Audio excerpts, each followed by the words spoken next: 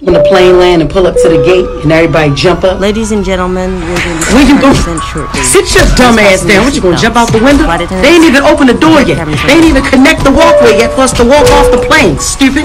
And then we got a long ass walk to baggage claim and our bags still ain't gonna be there.